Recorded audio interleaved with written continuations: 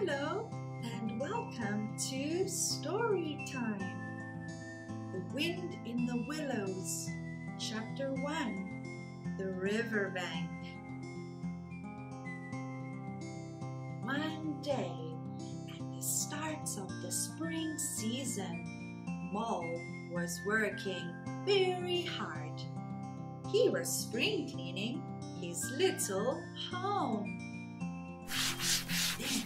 Some sunshine came through into Mole's home.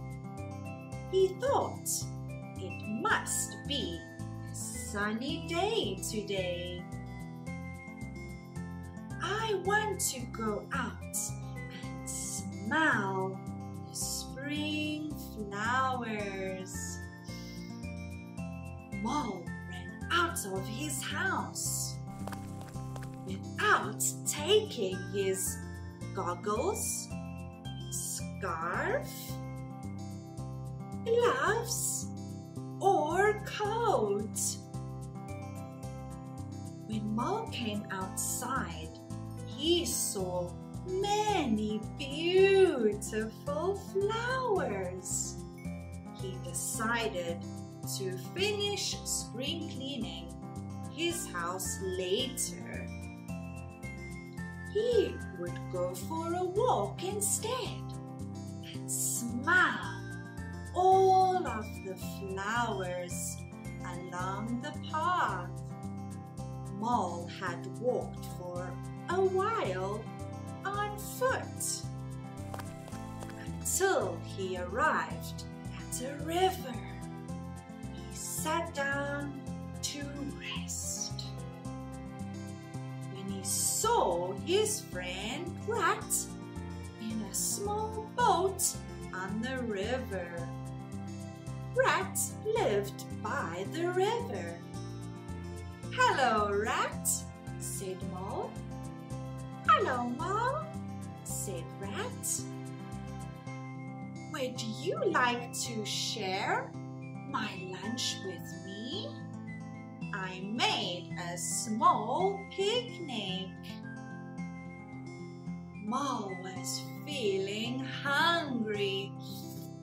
So he said, That looks delicious. Yes, please.